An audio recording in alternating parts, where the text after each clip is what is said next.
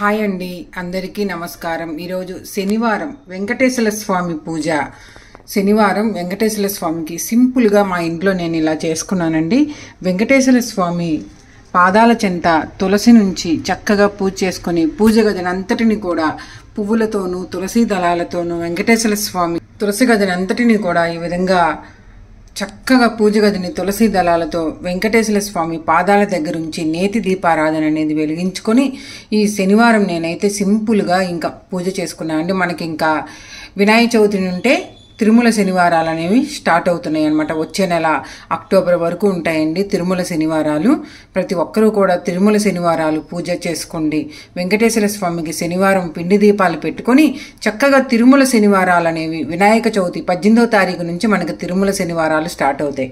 ప్రతి ఒక్కరూ కూడా పూజ చేసుకోండి. మీకు తిరుమల శనివారం పూజ ఎలా చేసుకోవాలో నేను ఒక వీడియో పెడతానండి. కంపల్సరీగా చూడండి. ఈరోజైతే ఈ శనివారం వెంకటేశ్వర స్వామికి చక్కగా తులసిని సమర్పించి ఈరోజు వెంకటేశ్వర స్వామికి పచ్చకర్పూరం అంటే చాలా ప్రీతి. వెంకటేశ్వర స్వామికి పచ్చకర్పూరం వేసుకొని గోవింద నామాలు చదువుకుంటే కూడా చాలా మంచిది.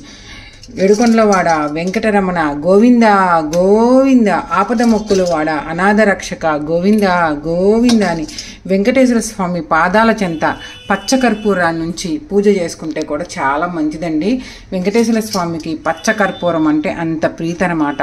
పచ్చకర్పూరాన్ని పాదాల చెంత ఉంచి గోవిందనామాలు చదువుకుంటే ఈరోజు చాలా మంచిదండి. వెంకటేశ్వర స్వామికి మన పచ్చకర్పూరమైన పచ్చకర్పూరం బిళ్ళలైనా ఏవైనా సరే తెచ్చుకొని చక్కగా వెంకటేశ్వర స్వామి పాదాల దగ్గర పెట్టుకుంటూ వెంకటేశ్వర స్వామికి గోవిందనామాలు గోవిందనామాలు చదువుకుంటేనండి వెలుగుతున్న దీపారాధన కుందులో కూడా పచ్చకర్పూరం వేస్తే సుగంధభరితంగా ఉంటుందన్నమాట. ఈ విధంగా ప్రతి శనివారం కూడా వెంకటేశ్వర స్వామికి పచ్చకర్పూరంతో పూజ చేస్తే చాలా మంచిదండి. సుగంధభరితమైన పచ్చకర్పూరం అంటే వెంకటేశ్వర స్వామికి చాలా ప్రీతికరం అనమాట నేనైతే ఈ విధంగా మా ఇంట్లో సింపుల్గా చేసుకున్నానండి. ఇప్పుడు నైవేద్యం పెట్టుకుంటాను. వెంకటేశ్వర స్వామికి నైవేద్యం బెల్లాన్ని సమర్పిస్తున్నాను. తండ్రి వెంకటేశ్వర స్వామి నాకున్నంతలోనే నీకు నైవేద్యం పెట్టాను.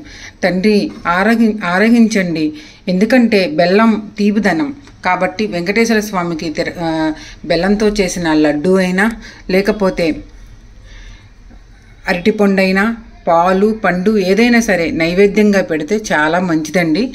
ఈ శనివారం నేనైతే ఈ విధంగా సింపుల్గా పూజ చేసుకున్నాను. ఏడుకొండలవాడ వెంకటరమణ గోవింద గోవింద ఆపద మొక్కుల వాడ అనాథ రక్షక గోవింద గోవింద అని మనస్ఫూర్తిగా వెంకటేశ్వర స్వామిని వేడుకొని పూజ చేసుకున్నాను. తండ్రి కష్టాల నుంచి తొలగించు. అందరూ సుఖ సంతోషాలతో ఆయురారోగ్యాలతో అష్టైశ్వర్యాలతో ఉండే విధంగా ఆ దేవుణ్ణి మనస్ఫూర్తిగా వేడుకోవాలండి. వెంకటేశ్వర స్వామి మా చెట్టు తులసి దళాలు శంకుచక్ర నామాలు నేను కూడా పెట్టుకున్నాను.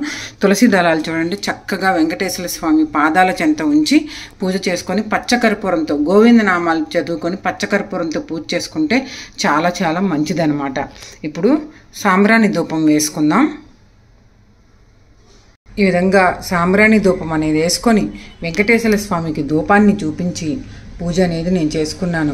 ఏడుకొండలవాడ వెంకటరమణ గోవింద గోవింద ఆపద మొక్కుల వాడ అనాథ రక్షక గోవింద గోవింద అని మనస్ఫూర్తిగా ఆ వెంకటేశ్వర స్వామికి సాంబ్రాణి ధూపాన్ని చూపించి మనస్ఫూర్తిగా నమస్కారం చేసుకొని ఈ విధంగా పూజ చేసుకున్నానండి. సింపుల్గా చేసుకున్నాను. వెంకటేశ్వర స్వామికి గంధం కుంకుమ బొట్లు పెట్టి ముత్యాల దండ వేసి చక్కగా తులసి దళాల పాదాల చెంత ఉంచి పూజ అనేది నేను చేసుకున్నాను.